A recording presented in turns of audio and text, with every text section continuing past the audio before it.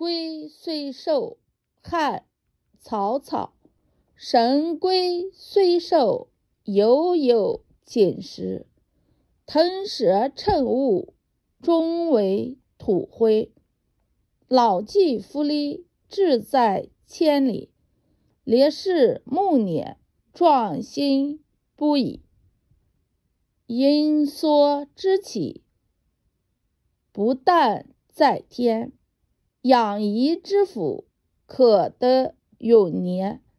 幸甚至哉，歌以咏志。中文译文：神龟虽然高寿，但是终有离世的时候。龙蛇虽然能腾云驾雾飞翔，但最终还是化为了灰土。年老的战马虽然只能伏在马槽旁，但他的志向仍远在千里。身经百战的将领，即使到了晚年，那颗叱咤疆场的雄心壮志仍将不老。长寿的秘诀，不单只靠上天的安排，健康的食物、锻炼和好心情都有助于延年益寿。我多么庆幸可以把这样的志向用诗唱出来。Though tortoises can live long, by Cao Cao Han Dynasty. Though tortoises with magic power can live long, his or her life has a limited length too.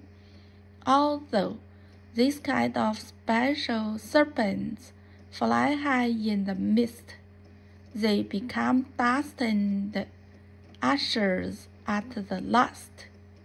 Though another age warhorse may be stabled, he still dreams to run thousands of miles on a fight field.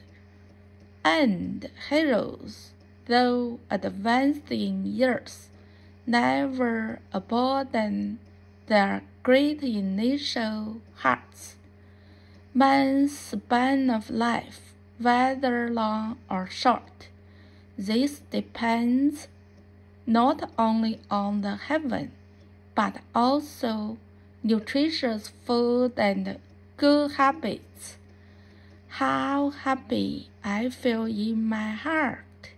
I crooned this poem and I thought. 龟虽寿，汉曹操。神龟虽寿，犹有捡食。腾蛇乘雾，终为土灰。老骥伏枥，志在千里。烈士暮年，壮心不已。鹰缩之气，不但在天；养怡之福，可得永年。幸甚至哉，歌以咏志。